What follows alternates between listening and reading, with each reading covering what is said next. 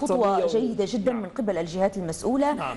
آه، وأخيرا للمحاسبة وأيضا الاقتصاص لدماء أناس ظلمت في زمن سابق وهدرت دماؤها أيضا ويحق للشعب الليبي أن أن يشاهد مثل هذه كما نلاحظ هنا حتى يكون نعم كما تلاحظ هنا وصول نعم. ومن المؤكد أنه وصول في وقت سابق لأن نعم. الآن هم الكل موجود في غرفة الاتهام نعم كما نلاحظ وصولهم تباعا في وقت سابق وهذا درس درس لأن لكل لكل طاغية ولكل جبار إن من يمارس الإرهاب والرعب ضد شعبه هذا مصيره مصيره المحاكمة والمحاكمة العادلة بطبيعة الحال.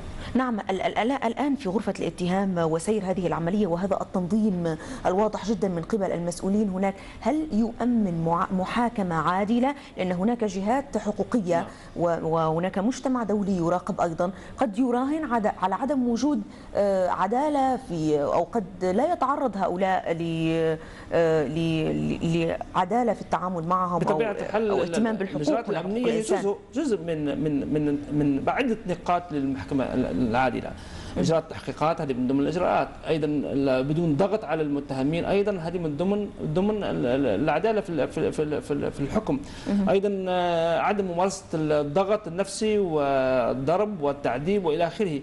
وتعتبر الإجراءات الأمنية هذه سلسلة من الاجراءات المحاكمة العادلة وإن شاء الله طيب هنا مراسلنا خير الله إبراهيم عندما كان آه، معنا قبل قليل أكد لنا بأن هناك 16 آه، متهم جالس ومجموعه أخرى آه، يعني واقفين هنا. هل هناك إجراء؟ واقفين اثنين واقفين. بالفعل أكد لنا على هذه المعلومة. هنا ما الذي يعنيه ذلك في السجن أو في قفص الاتهام يبدو هنا؟ هل هذا يعود عدم وجود كراسي؟ بطبيعه الحال لا أنا أسأل هنا هل هذا آه نظام آه, آه، معين في المحكمة؟ آه لا لا لا أستطيع أن اجزم برأي محدد ولكن بطبيعة الحال هذه مقتضيات المحكمة تفرضها طبيعة طبيعة معينة من الإجراءات. الآن سي هناك عبد الله السنوسي في غرفة الاتهام الآن اليوم هل القاضي سيستمع فقط لكل المتهمين؟ لا اليوم سيتلو على الحاضرين الأسماء للتاكد من وجودهم. في نفس الوقت آه يعرض يعرض النيابة العامة آه تعرض الاتهامات التي وجهت إليه. آه ثم آه آه ترفع الجلسة الأولى إذا سيتم عرض كل الاتهامات أمام نعم. المتهمين وهل سيؤكدون تلك الاتهامات أو ينفون هل لهم الحق في ذلك في غرفة الاتهام؟ الحال لكل متهم له محامي بالتالي يقوم بالإجراءات اللازمة آه، في عملية الاعتراض على على طيب الخطوة آه، التي تتلو غرفة الاتهام آه، ما المفترض القيام به من قبل قاضي التحقيق الآن؟ بطبيعة الحال هناك تشاور هيئة هيئة استشارية للقاضي وهناك مراحل تباعا آه، أول آه، كما ذكرت آه، تلاوة تلاوة الأسماء تلاوة الاتهامات ثم تأتي الجلسات الأخرى لسماع سماع الأدلة والشهود وممكن استدعاء أشخاص آخرين لم تذكرهم في أثناء التحقيقات ممكن مستجدات جديدة تطرأ في الجلسات وبالتالي يتم عضوها اتخاذ القرار اللازم. اذا أنوه بأن هذه الصور لوصول المتهمين في وقت سابق للمثول أمام غرفة الاتهام اليوم في محكمة استئناف طرابلس. وصل فقط 36 متهما من رموز النظام السابق. تعذر وصول الباقين آه، وسنعرف كل تفاصيل تعذر الوصول. إذا هذا وصول المتهمين في وقت سابق هم الآن موجودين في غرفة الاتهام آه، قبل قليل. وكما أكد لنا مراسلنا خير الله إبراهيم بوجود آه، عبد الله السنوسي الآن في غرفة الاتهام. أكد لنا بأن هناك 16 متهما هو آه، جالس واثنين منهم واقفين داخل قفص الاتهام. إذا هناك متابعة جيدة جدا من قبل وسائل الإعلام لكل ما يحدث هناك أمام محكمة استئناف طرابلس.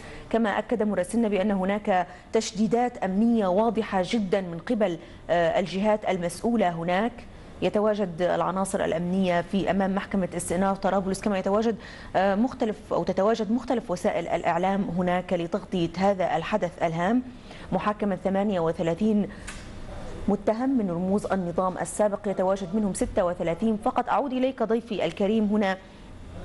أهمية آه، وجود هذه الإجراءات الأمنية هناك وأهمية آه، أيضا ترك مساحة جيدة لحرية الرأي والتعبير أمام محكمة الاستئناف. ما مدى أهميتها في هذا الوقت بالتحديد؟ آه، الآن ليبيا في أنظار العالم الآن يراقب عن كتب ماذا يحدث في في ليبيا. مواكبة محاكمة القرن في نفس الوقت مدى قدرة النظام الحالي على إجراء مثل مثل هذه المحاكمات في نفس الوقت آه، اعطاء فرصة للنظام السياسي في في ليبيا إنه يثبت آه، مدى قدرته وجدارته في إجراء مثل هذه المحاكمات. طيب أستاذ الياس كيف آه، تعلق على تعذر وصول سيف الإسلام وعلى الخبر المتعلق بتأجيل محاكمته هناك في الزنتان؟